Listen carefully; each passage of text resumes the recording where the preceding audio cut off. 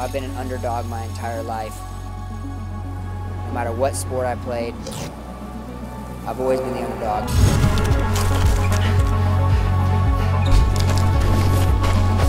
Growing up in the blue collar community, nothing's given to you.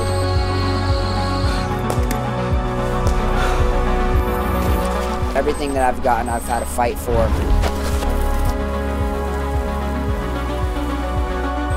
There is nobody in the world that outworks me on the snow or off the snow.